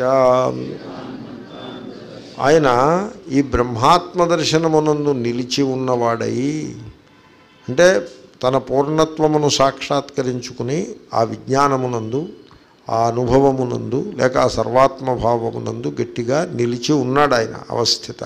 నిలిచి ఉన్నప్పుడు ఈ మంత్రములను దర్శించినాడు. ఏతాన్ మంత్రాన్ దర్శ ఈ మంత్రములను ఆయన దర్శించినాడు. అంటే ఆయన అనుభవము మంత్రరూపముగా ప్రకటమైనది అని అభిప్రాయం. ఏమిటా మంత్రాలు? అహం అనురభవం సూర్యశ్చ ఇత్యాదీన్ అలాగే ఇంకా ఉన్నాయి మంత్రాలు. ఎక్కడో ఉంటుంది ఆ మంత్రం. దాని యొక్క ప్రతీక మాత్రం ఇక్కడ ఇచ్చారు. ఇక్కడ రెండు అహం అనురభవం అహం సూర్యశ్చ అభవం అలాంటి మంత్రాలు ఇంకా ఉంటుంది. దాని అభిప్రాయం సర్వాత్మభావము అని అర్థం. ఓకే? దాన్ని ఆయన వివరిస్తారు. తదేతద్ బ్రహ్మ పశ్యన్ ఇది బ్రహ్మ విద్యా పరామృశ్యతే. ఇప్పుడు తత్ ఏతత్ పశ్యన్న ఉంది మంత్రం ప్రారంభంలో ఆ ఈ ఆ ఈ ఆ బ్రహ్మ విద్యను ఈ బ్రహ్మ విద్యను ఆ తతు ఏతతు అనేటువంటి ఆ రెండు సర్వనామములు నామవాచకానికి అన్వయిస్తాయి. ఏమిటా నామవాచకము? బ్రహ్మ. అట్టి ఈ బ్రహ్మను అని అర్థం. ఆ బ్రహ్మను పశ్యన్. పశ్యన్ అంటే దర్శిస్తున్నవాడై. అట్టి ఈ బ్రహ్మను దర్శించుట అంటే మీకు పైన బ్రహ్మ విద్యను చెప్పినారు కదా ఆ బ్రహ్మ విద్యకంతకీ పరామర్శ. విద్య అంటే పశ్యన్ పశ్యన్ నుంచి విద్య వస్తుంది. దర్శించడమే విద్య. దేనిని దర్శించడము? తత్ ఏతత్. అట్టి ఈ ఏమిటది? బ్రహ్మ. కాబట్టి అట్టి ఈ బ్రహ్మను దర్శిస్తున్నవాడు అనే పదప్రయోగము చేత అనే ఆ సముదాయము ఫ్రేజ్ దానికి అంతకీ అర్థం ఏమిటంటే బ్రహ్మ విద్య అని అర్థం. బ్రహ్మ విద్య పరామృశ్యతే ఇప్పుడు సర్వనామాలు పైనున్న నామవాచకాన్ని పరామర్శ చేస్తూ ఉంటాయి. పరామర్శ చేయడం అంటే వాటిని ఇక్కడికి తీసుకొచ్చి పెడతాయి. ఓకే? అహం అనురభవం సూర్యశ్చ ఇత్యాదిన సర్వభావాపత్తిం బ్రహ్మ విద్యాఫలం పరామృశతి. అది అహం అనురభవం సూర్యశ్చ అనేది దేన్ని పరామర్శిస్తోంది? అంటే సర్వభావాపత్తి అని చెప్పారు కదా. బ్రహ్మను తెలుసుకుని సర్వము ఆయను. అది బ్రహ్మ విద్యకి ఫలం. ఆ ఫలమునకు పరామర్శ అహం అనురభవం సూర్యశ్చ అని. కాబట్టి ఇప్పుడు మొత్తం వాక్యం చూసుకోండి. ఋషిర్వామదేవ ప్రతిపేదే అది అలాంటి పెట్టండి. తద్ధైతత్ పశ్యన్ అన్నది బ్రహ్మ విద్యను సూచిస్తోంది. అట్టి ఈ బ్రహ్మను దర్శిస్తున్నవాడు అంటే బ్రహ్మ విద్య అనమాట ఆ బ్రహ్మ విద్య అది బ్రహ్మ విద్యకి పరామర్శ. అహం అనురభవం సూర్యశ్చ అన్నది బ్రహ్మ విద్యా ఫలమైనటువంటి సర్వాత్మభావమునకు పరామర్శ. సో ఆ విధంగా ఈ కథలో ఋషి వామదేవ పెట్టారు కాబట్టి కథ అయింది. ఆ కథలో ఏమున్నాయి? బ్రహ్మ విద్య గలదు బ్రహ్మ విద్యా ఫలము గలదు. బ్రహ్మ విద్య ఎక్కడి నుంచి వచ్చింది? పైన చెప్పారు. బ్రహ్మ విద్యా ఫలం ఎక్కడి నుంచి వచ్చింది అది పైన చెప్పారు. కాబట్టి పైన చెప్పిన బ్రహ్మ విద్యను ఈ ఋషి వామదేవుడు పొంది ఈ ఫలమును పొందినాడు అని కథ పూర్తయింది. అది సంగతి. పశ్యన్ సర్వాత్మభావం ఫలం ప్రతిపేదే ఇత్యస్మాత్ ప్రయోగాత్. బ్రహ్మ విద్యా అసహాయ సాధన సాధ్యం మోక్షం దర్శయతి. అక్కడ సంధి విడగొట్టాను నేను. మధ్యలో హైఫన్ పెట్టి ఆ పెట్టాను. సవర్ణ దీర్ఘ సంధి చేసేస్తే ఏమవుతుంది? ఆ కలిసిపోతుంది. కలిసిపోతే బ్రహ్మ విద్య సహాయ సాధన అనే అర్థం వస్తుంది. అలా రాకుండా ఉండడం కోసం హైఫన్ పెట్టి ఆ పెట్టాను. కాబట్టి చూడండి పశ్యన్ ప్రతిపేదే అని ఉంది. పశ్యన్ చూస్తున్నవాడై దేనిని? బ్రహ్మను. బ్రహ్మను దర్శిస్తున్నవాడై. అంటే బ్రహ్మాత్మభావ బ్రహ్మ సాక్షాత్కారమును పొందుతున్నవాడై ఫలం ప్రతిపేదే. ఫలమును పొందెను. ఏమిటా ఫలము? సర్వాత్మభావం ఫలం ప్రతిపేదే అని చెప్పడాన్ని బట్టి ఇప్పుడు భుంజానస్తృప్యతి లాంటిది. అంటే కొంచెం వ్యాకరణం ఉంది అక్కడ క్రియా లక్షణహేత్వో క్రియాయా శత్రుశానచౌ అని సూత్రం. ఓకే? శత్రు ప్రత్యయము శానచ్ ప్రత్యయము అని రెండు ప్రత్యయాలు ఉన్నాయి ఈ ప్రత్యయాలంటే మరి వ్యాకరణం అలాగే ఉంటుంది. మీకు అదేదో కొంచెం విడ్డూరంగా అనిపిస్తుంది. ఒక్కపిసరి ఓపిక పట్టాలి. ఇప్పుడు గెచ్చన్ అంటే వెళ్ళుచున్నవాడు. ఆ గచ్చన్నులో ఆ అన్ను ఉంది చూసారా? అది శత్రు ప్రత్యయం శత్రువులో షు తీసేయండి. రు తీసేయండి ఇంకా అత్తు మిగులుతుంది. మరి అన్నందంటే ఉందంటే అయ్యా గచ్చన్న గెచ్చన్న అవుతుంది. గచ్చత్తు కాస్త గెచ్చన్న అవుతుంది. కాబట్టి గెచ్చన్నులో అన్న శత్రు ప్రత్యయము. ఓకే? తర్వాత ఇంకొకటి భుంజానహ. ఆనహ నన్ను భుంజ అంటే భోజనం చేయడం కదండి. భుంజానహ ఆనా ఉంది కదా అది శానచ్చు ప్రత్యయం. శానచ్చులో షు తీసే చు తీసేస్తే ఆనా మిగులుతుంది. యానా ఎక్కడొచ్చినా అది శానచ్చు ప్రత్యయం. అత్తను వస్తే అన్న అత్త అత్తే అన్న అది శత్రు ప్రత్యయం. ఈ శత్రు శా ఇప్పుడు పశ్యన్న ఏ ప్రత్యయం ఇది? శత్రు ప్రత్యయం. రెండింటికి అర్థం ఒకటే. మరి అత్తముడు రెండు వేరువేరు ఎందుకు ఉన్నాయి ప్రత్యయాలు? అంటే పరస్మైపద ధాతువులకి శత్రు ప్రత్యయము ఆత్మనేపది ధాతువులకి శానతి ప్రత్యయం వస్తుంది దాని వ్యవస్థది. సో ఇప్పుడు పశ్యతి అన్నది పరస్మైపది. కాబట్టి పశ్యన్. వర్తమాన కాలంలో వస్తుంది. వర్తమానే లట్ కింద ఉంది ఈ సూత్రం. వర్తమానంలో వస్తుంది. తర్వాత ఏ అర్థం? లక్షణ హేత్వో. పశ్యన్ అన్నది హేతువు.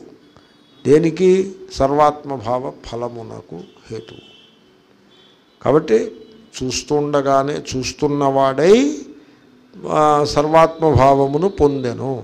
ఏమంటే మీరు చెప్పండి? మందు వేసుకుంటున్నవాడై జ్వర విముక్తుడాయను అన్నాడు అనుకోండి ఇప్పుడు జ్వర విముక్తుడగుటకు హేతు ఏమిటి మందు వేసుకుంటున్నాడు.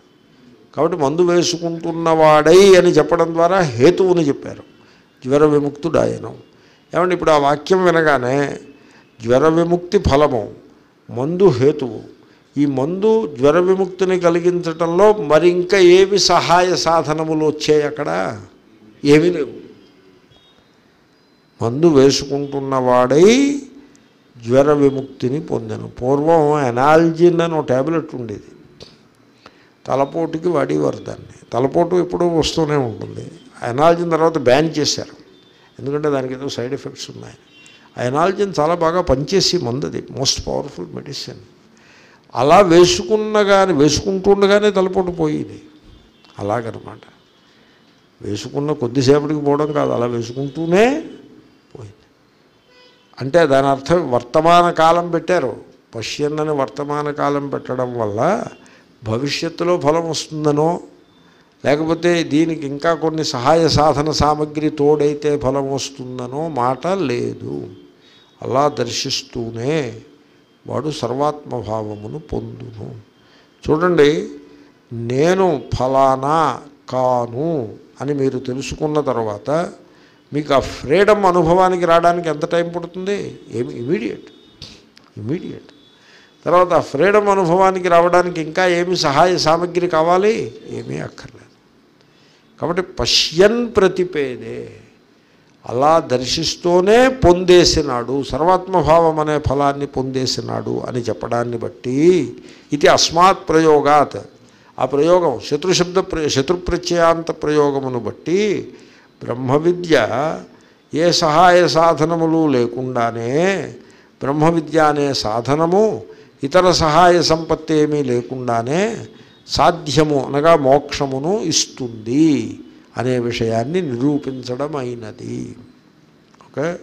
కాబట్టి బ్రహ్మ విద్యకి కొంత కర్మ కొంత ఉపాసన జోడించి అప్పుడు మీరు మోక్షాన్ని పొందుతారు అనేది ఏమీ ఉండదు.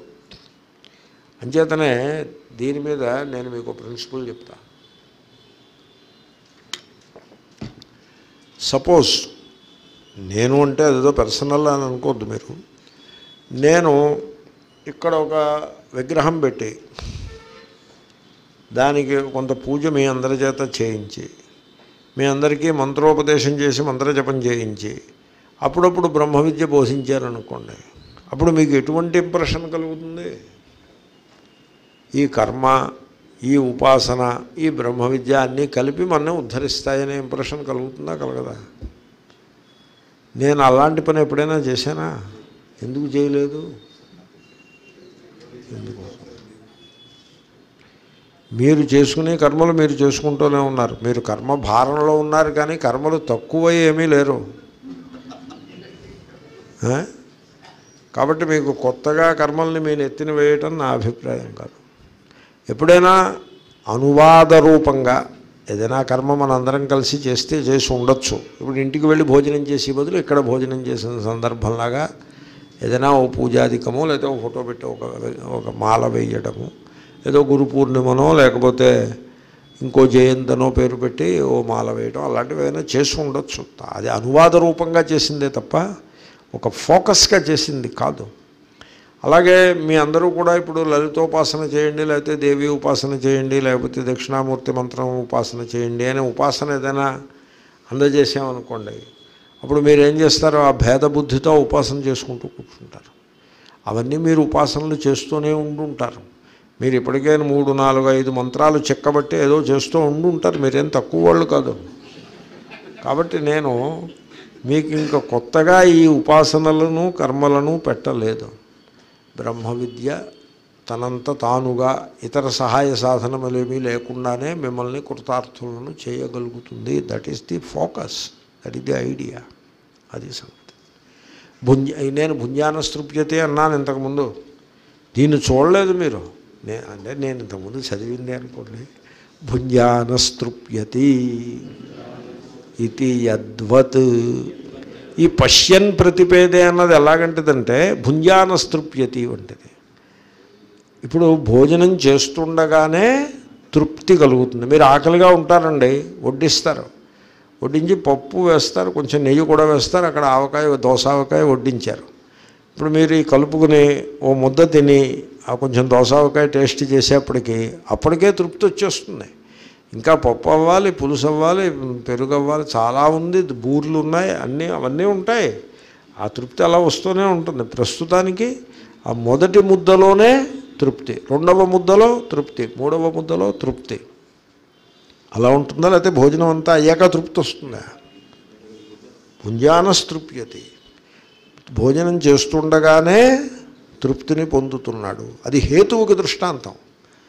భుంజాన తృప్తితేనది హేతువు. భోజనం చేయడం తృప్తికి హేతువు. తిష్టన్ గాయతి లక్షణ దృష్టాంతం. లక్షణ హేత్వోహని కదా. తిష్టన్ గాయతి నిలబడుతూనే పాడుతున్నాడు. నిలబడి ఉంటూ పాడుతున్నాడు. నిలబడి ఉండడం పాటకి హేతువు కాదు. పాట కూర్చుని కూడా పాడచ్చు. పాటకి హేతువు కాదు. పాట పాడడానికి లక్షణం. వాడు పాటగాడు కదా వాడి లక్షణం ఏమిటి అంటే నిలబడి పాట పాడతాడు. ఓకే? కాబట్టి అక్కడ కూడా తిష్టన్ గాయతి అన్నది శత్రుప్రత్యయం ఓకే? అలాగా. ఇప్పుడు గాయన్ గచ్చతి అన్నారనుకోండి గాయన్ గచ్చతి అంటే గాయన్ గచ్చతికి హేతువు కాదు. గాయన్ గచ్చతికి లక్షణం. వాడు ఎలా వెళ్తున్నాడు? గాయన్ గచ్చతి అన్నట్టుగా. పాట పాడుకుంటూ వెళ్తున్నాడు. పాట పాడుకోవడం వెళ్ళడానికి హేతువు కాదు. సైకిల్లో ఏదో ఉంటుంది హేతువు. అది లక్షణం. లక్షణాల్లో వచ్చిన శత్రు ప్రత్యయం ఇక్కడ హేత్వర్థంలో వచ్చిన శత్రు ప్రత్యయము అంచేతనే సాధన సాధ్యం మోక్షం దర్శయతి. భుంజాన స్తృప్యతి ఇది యద్వత్. అక్కడికి ఆ మంత్రం అయిపోయింది. తర్వాత మంత్రం. మనం స్లోగా పదహారు పదిహేడుకి వచ్చాము. ఇది పూర్తి చేయగలుగుతామేమో అని ఒక ధైర్యం కలుగుతోంది. తదిదమప్యేతర్హి. య ఏవం వేద? అహం బ్రహ్మాస్మీతి. స ఇదగుం సర్వం భవతి. తస్యహన దేవాశ్చన అభూత్యా ఈశతే చాలా మంచి మంత్రం. దీనికి అవతారికి చూడండి. సా ఇయం బ్రహ్మ విద్యయా సర్వభావాపత్తిరాసీత్. మహతాన్ దేవాదీనాం వీర్యాతిశయాత్. ఇక్కడ ఇక్కడ చెప్పేది ఈ పౌరాణికులు చెప్పేదానికి విరుద్ధంగా ఉంటుంది పౌరాణికులు ఏమని చెప్తారు? ఆయన అలాగ శివుడికి అభిషేకం చేస్తుంటే పాలతోటి అక్కడ శివుడు డైరెక్ట్గా వచ్చేసి అలా నోరు తెరిచి ఆ పాలను త్రాగినాడు అని పురాణకుడు చెప్తాడు. చెప్తే అవును మరి నేను అభిషేకం చేస్తే శివుడు అలాగా వచ్చేసి పాలు తాగేస్తాడా అని నేను అడిగాను అనుకోండి. అప్పుడు ఏమని చెప్తారు? చాలు చాలులే కూర్చో. నీ ముఖానికి శివుడు వస్తాడే. ఆయన మహర్షి కనుక ఆయన అభిషేకం చేస్తే శివుడు వచ్చాడు. నీవు పాపిష్ఠివాడివి నువ్వు అభిషేకం చేస్తే శివుడు రావడం మాట అలాంటి పెట్టి ఇంకా ఆ శివుడు యొక్క అనుచరుడు యొక్క అనుచరుడు కూడా రాడు. చాలు చాలులే కూర్చో అని చెప్తారా? చెప్పరా? పోలేండి ఇంత ఇంత పరుషంగా చెప్పకపోవచ్చు. మొత్తం మీద అలా చెప్తారా? చెప్పరా? కానీ ఇక్కడ ఎగ్జాక్ట్లీ ఆపోజిట్ చెప్తున్నారు. పూర్వపక్షం ఏంటంటే ఈ బ్రహ్మ విద్య బ్రహ్మస్వరూపాన్ని తెలుసుకుని సర్వాత్మభావమును పొందుట అనేది ఏదైతే గలదో ఇది గొప్పవాళ్ళు దేవతలు. వాళ్ళకి వచ్చింది. యో యో యో దేవానాం కదా. దేవతలంటే సామాన్యుల వీర్యాతిశయాత్. వాళ్ళలో ఒక గొప్ప శక్తి అతిశయంగా ఉంటుంది. అందువల్ల వాళ్ళు బ్రహ్మ విద్యను పొంది సర్వభావాన్ని పొందేసినారు. మనం పొందగలమాది న ఇదానీ ఐదం యుగీనానాం విశేషతో మనుష్యాణం అల్పవీర్యత్వాత్ ఇది సత్ కస్యచిత్ బుద్ధి. ఒకడికి ఇలాంటి బుద్ధి కలుగుతుంది ఇలాంటి అభిప్రాయం కలుగుతుంది. ఏమని? అప్పుడెప్పుడో దేవతలు ఇంద్రుడు వరుణుడు తెలిసేసుకుని బ్రహ్మభావాన్ని పొందారండి మనకి మన ఇప్పుడు ఈ మాట కాదు ఇది. నా ఇదానీ. ఇప్పుడు కాదు. మన ముఖం చూస్తే మనకి బ్రహ్మ విద్యను సర్వభావాపత్తి కూడానా? మనం ఐదం యుగీనానాం. మనం ఏ యుగంలో ఉన్నాము? కలియుగంలో ఉన్నాము. ఇది త్రేతాయుగంలో కృతయుగంలో మాటది ఆ ఋషులకు కలియుగంలో పుట్టి వీడు బ్రహ్మ అయిపోతాడా అలా అవడు. వాళ్ళు దేవతలు ఋషులు అలా అయ్యారు. మనుష్యులం మనం. పైగా కలియుగంలో ఉన్నాము. అల్పులము పాపిష్ఠి వాళ్ళము మనం బ్రహ్మభావాన్ని ఏం పొందుతాము? ఓ పద్యం ఉంది. అల్పాయుష్కులు అని పోతన గారి పద్యం. అల్పాయుష్కులు మందభాగ్యులు అని ఈ పద్యాన్ని పౌరాణికులు చాలా బలంగా చదివి వ్యాఖ్యానం చేస్తారు. మీరు అలాగా పుబ్బలో పుట్టి చిత్- చిత్రలో పుట్టి పుబ్బలో పోతారు. అని అలా అల్పాయుష్కులు. డెబ్భై ఏళ్ళు ఎనభై ఏళ్ళు అంటే ఏదో పెద్ద ఆయుర్దాయం అది. చిన్న ఆయుర్దాయం. ఈశ్వరుణ్ణి చేరాలంటే వేలాది సంవత్సరాల తపస్సు అవసరం. మందభాగ్యులు. ఎంతో మహాపుణ్యం ఉండాలి. అప్పుడు మాత్రమే ఈశ్వరుణ్ణి ఆరాధించే భాగ్యం కూడా లేదు మనకి. మనం క కలియుగంలో పుట్టిన వాళ్ళము.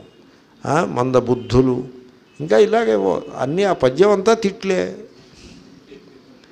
వీళ్ళకి ఈశ్వరుడు ఎక్కడ లభిస్తాడు అని కంక్లూడ్ అవుతుంది ఆ పద్యం.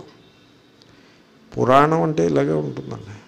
మనిషిని అసలు ముందు సగం నీరు గార్చేయటం వాడికున్న ఉత్సాహాన్ని తీసిపారేయటం. సో వాడి ఎందు నేను అయోగ్యుడను పాపిని అనేటువంటి ఒక కాంప్లెక్స్ని పెట్టి ఇట్లా ఉంటుంది. అలా ఉండకూడదు.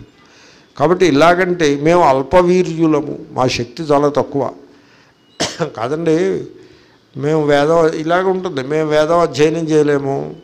కర్మలు చేయలేము. పూజలు చేయలేము. మాకు ఏ శక్తి లేదు. మేము దానాలు చేయలేము. మరి బ్యాంక్ అకౌంట్లో మాత్రం దాచుకోగలుగుతారు. దానాలు చేయడం మాకు చేత కాదు. మేమేమీ చేతగాని వాళ్ళము. మాకు మోక్షానికి పోవాలి. ఎలాగా? అంటే నారాయణ అంటే మోక్షం వచ్చేస్తుంది. వార్. ఇది ఎలా ఉంది మాట? అలా అజామిళుడికి వచ్చింది. మీరు అజామిళోపాఖ్యానం చదివి చూడండి వచ్చిందో లేదో తెలుస్తుంది మీకు. అక్కడ అలా కళ వచ్చింది ఆయనకి. తర్వాత ఆయన తపస్సు చేసి మోక్షాన్ని పొందాడు. అది ఎవడో చెప్పడు ఈ ముందు మాట అని. ఈ రకంగా కలి కల్మష ఏదో ఉంటుంది. కలవు విధి శృతి విహీనానాం. వీళ్ళకి శృతి లేదు విధి లేదు. అల్పాయుష్కానాం. తర్వాత విధి ఏమీ లేని వాళ్ళు.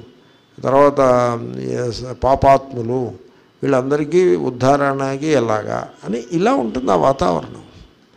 ఆ వాతావరణంలో ఉండి ఇటువంటి అభిప్రాయం కలుగుతుంది. దేవతలకి వాళ్ళకి కలిగిందండి. బ్రహ్మ విద్య మోక్షము మనం ఎంతటి వాళ్ళము మనకి రాదు అని ఒకడు అంటాడు. తద్వ్యుత్థాపనాయ ఆహా. అటువంటి ఒకనొక తప్పుడు అభిప్రాయం నుంచి జనాల్లో జనులను పైకి లాగుట కొరకై శృతి చెప్తోంది. ఏమని? ఏతరిహి ఇప్పుడు కూడా అప్యేతరిహి ఈ కాలంలో కూడా ఇప్పుడు కూడా. ఆ ఈ బ్రహ్మను ఎవడైతే తెలుసుకుంటాడో అహం బ్రహ్మాస్మి అని యహ ఎవడైతే యహ అన్నదానికి చిన్మయానందజీ ఏమనివారంటే హూసో ఎవర్ అని ట్రాన్స్లేషను.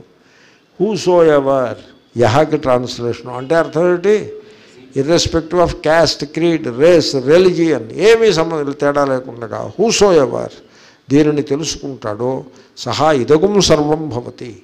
వాడు సర్వాత్మభావాన్ని పొందేస్తాడు. ఏమంటే మరి దేవతలు ఆటంకం వీడు తపస్సు చేసుకుంటే ఇంద్రుడేమో మేనకను పంపించి రమ్మను పంపించి ఆటంకం పెట్టాడని కథలు ఉంటాయి. విఘ్నేశ్వరుడేమో విఘ్నాలు కలిగిస్తాడని కథలు ఉంటాయి. మరి వాటి మాట ఏమిటంటే దేవతలు కూడా వీడికి ఎవ్వడూ ఆ ఆటంకం పెట్టలేరు. ఆ అజ్ఞానాన్ని తొలగించుకుని మీరు సూర్యుడిని దర్శిస్తానంటే దేవతలు కూడా మీకు అడ్డు రాలేరు. మీకు మీరే అడ్డు పెట్టుకోవాల్సి ఉంటుంది అంతే. అని మంత్రం. దీన్ని శుక్రవారం నాడు ఫినిష్ చేద్దాం. ఓం పూర్ణమద పూర్ణమిదం.